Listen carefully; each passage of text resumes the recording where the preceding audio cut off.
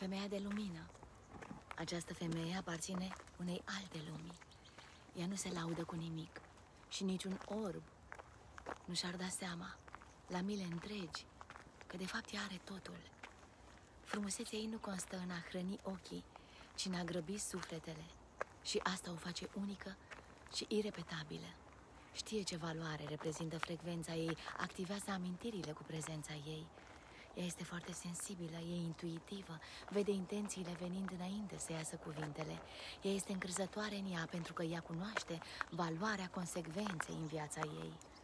Ea nu creează dependență, ea de unde vine. Toți sunt compleți și războinici. Ea poate totul.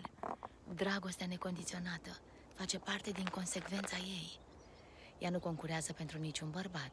Înțelege că doar cei cu aceeași capacitate de a înțelege toate stările armonioase care îi reprezintă misiunile vor ști să o vadă.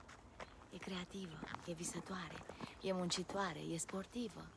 Corpul ei reprezintă valorile pe care le poartă și este fidelă în menținerea relației ei.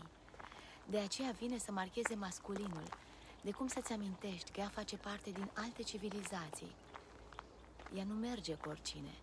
Știe să spună nu, iar asta o face să ridice vibrația până când sosește adevăratul ei partener. Cine știe să o iubească, o ascultă, scoțându-și copilul interior cu care să se joace, așa cum o întinerește, o înfrumusețează cu alchimia ei sexuală.